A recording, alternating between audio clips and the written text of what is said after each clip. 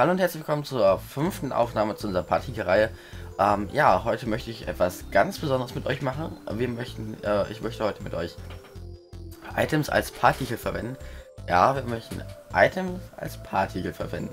Ihr kennt das bestimmt aus den großen Servern wie ähm, Hypixel etc. Ähm, ihr lauft und hinter euch spawnen einfach Items auf dem Boden, die danach wieder verschwinden. Ja, wir nehmen jetzt sowas mal als Partikel, das sieht ganz lustig aus. ähm, das ist halt eine Kleinigkeit. Trotzdem wird die ein bisschen ähm, ressourcenfressender sein als äh, die normalen Partikel. Deswegen geht damit vorsichtig um, das sage ich jetzt zu Anfang. Ja, und dann würde ich sagen, legen wir direkt los. Äh, wir werden dafür ein bisschen mehr Arbeit brauchen, aber das kriegen wir schon hin. Fangen wir an. Ähm, als erstes müssen wir daran bedenken, dass man die Partikel nicht auf, äh, dass man ähm, unsere Items, beziehungsweise wir nennen sie jetzt Partikel, Partikel nicht aufheben soll. Also machen wir uns hier eine, ähm, äh, eine Liste, wo wir dann am Ende die Partikel eintragen ähm, die äh, nicht genutzt werden sollen. Ähm, in diesem, äh, nicht aufgehoben werden sollen. Das machen wir insofern, wir fragen einfach immer die UID des Partikels ab, weil die Items haben auch einzelne UIDs.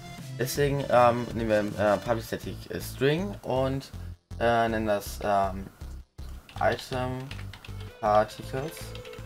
Und ähm, das ist eine New Array List, auch aus dem String, logischerweise. Das würde sonst keinen Sinn ergeben. So, und damit hätten wir Java Util und hier auch einmal Java Util. Damit hätten wir unsere Liste. Und jetzt wollen wir den Partikel spawnen. Aber das wird jetzt schon ein bisschen komplizierter.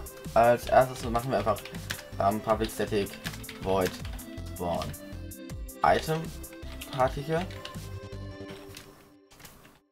Ähm, da müssen wir reintragen ähm, Location Log.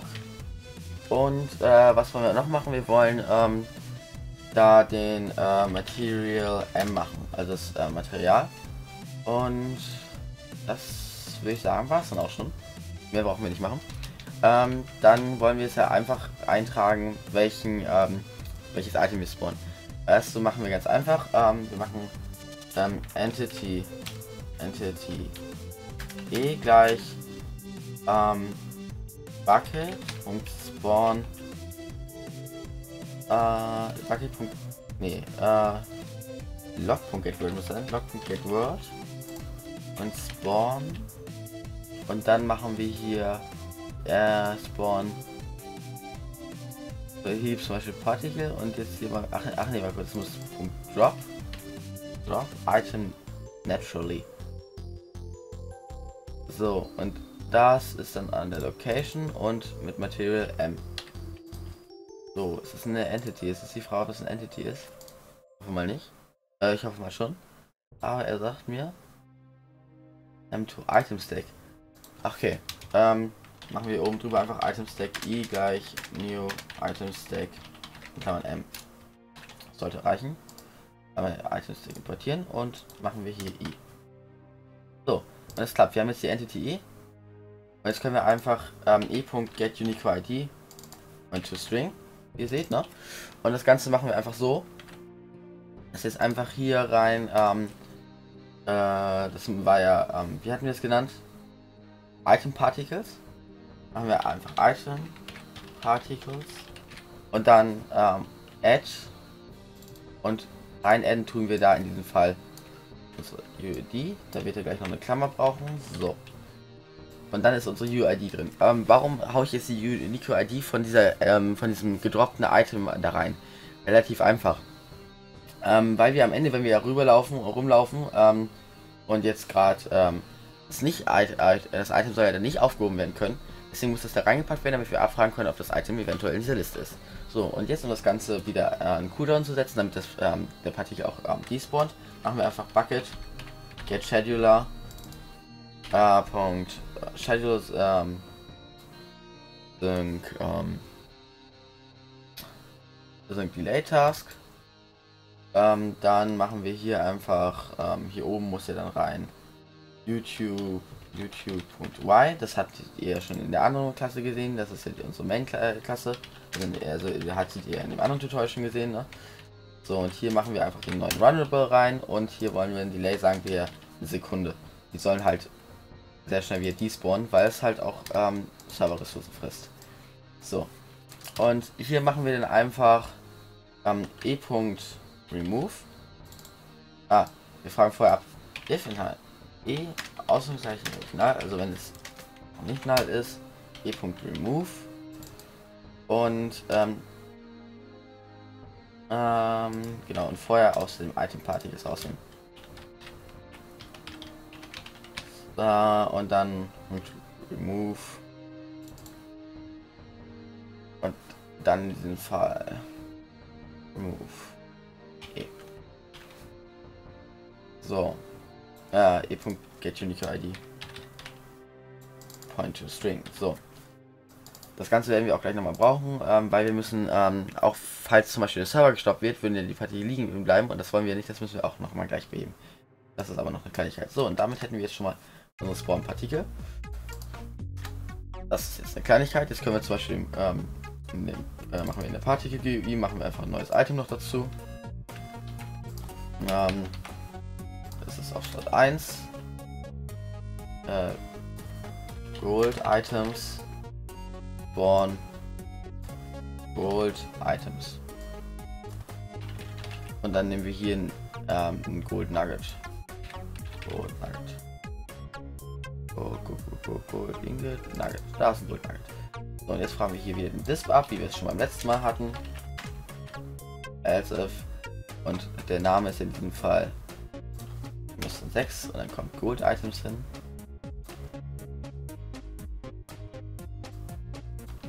Gold Items. Und ähm, hm, jetzt ist lustig. Ähm, da machen wir es. Äh, wir wollen ja dieses Spiel hier eintragen in die Liste. Hm, machen wir einfach ähm, Spawn, Spawn Particles. Und da kommt einfach der Player rein. Ähm, ja, warum jetzt nochmal eine neue Liste für das andere? Äh, relativ einfach, ähm, weil das Ganze natürlich jetzt hier eine andere Partikel ist und das können wir jetzt nicht hier über einen Effekt lösen. Ähm, deswegen müssen wir das so lösen. Das könnt ihr aber halt mit eurer Erfahrung, die ihr vielleicht jetzt durch die Tutorials habt, ähm, auch anders lösen. Ja, ähm, Gold Items. Und hier müssen wir in Particles.spawn Particles.add p und dann ähm, 6 Golden Items Activated. Äh, Gold Items wollte ich einfach. Gold Items Activated. So. Und jetzt fragen wir einfach ähm, Partikelisten ab und am Player Move Event. Ähm, if Particle Utils und Spawn Particles und contains B. Wenn ja, dann soll er ähm, Particle Utils Spawn Item Particle dann p.get Location add, da wollen wir nämlich noch adden 0,0,5,0 so, dann wird das dazu geaddet, das ist jetzt in ähm, y 0,5 hoch und dann Material und Gold Nugget. So, und ähm, der Punkt ist aber, dass wir, wenn wir jetzt den Server stoppen, dann würde die liegen bleiben. Deswegen machen wir einfach beim ähm, Stop-Event, äh, also, wenn, also beim Disable machen wir dann vor ähm, String äh, vor ähm, Entity e Doppelpunkt ähm, Bucket.getWorld. Ich mache jetzt in diesem Fall die World World, weil ich weiß, dass es in der World World äh, drin ist. Ansonsten müsste man durch die ganzen Worlds gehen. Get Entities. Äh, get Entities.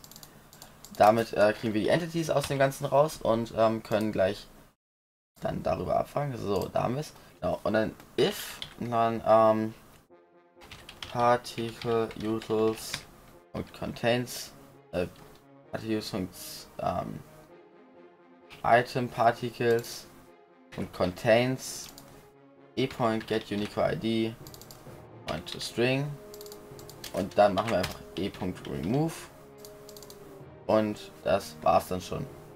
Die, weil die Liste wird eh von sich ausgeleert. So, damit hätten wir den ganzen Kram. Dutch. Erstmal exportieren. Machen es hier ganz kleiner und brauchen einmal unseren Server, der liegt hier. Das Plugin da rein, setzen, reloaden, sind hier noch auf den Server drauf und wir klären was Weather oder hier slash timeset 1. So, jetzt haben wir hier noch unseren Blaze Powder vom letzten Mal mit unserem Partikel-Inventar, die Golden Nuggets und ihr seht, yay! Wir haben hinter uns solche Fontänen aus kleinen Nuggets, die aber nach kurzer Zeit wieder verschwinden. Aber ihr seht noch, wir heben die jetzt gerade auf, was, was ich ganz vergessen habe. Die laufen zwar richtig cool hinter einem her, aber wir heben die noch auf. Ähm, warum heben wir die noch auf? Relativ einfach, ähm, das kann ich so erklären weil wir eigentlich noch gar nicht das, ähm, in die Partikellisten was geedit haben. Nämlich, ähm, wir müssen hier noch ein Add Event Händler Public Void on a Player Pickup Item Event E. So, ähm, if, nochmal e.get Item muss gucken, ist das ein Entity? Unique ID und to string. So, und dann müssen wir vorher irgendwas reinschreiben. If particle utils. Äh, item particles contains und dann äh, schreiben wir den e.getItem äh, .get unique ID string. Wenn ja, dann e.set cancel true. So, damit hätten wir schon unseren, unsere, unsere ganze Geschichte überarbeitet. Also, wenn der in der Item-Partikels drin ist, also wenn das ähm, e.getItem.getUnityID, also die, ID zum, äh, zum String, in Item-Partikels enthalten ist, wird das Ganze gecancelt. Das Ganze explodieren wir einmal kurz für uns.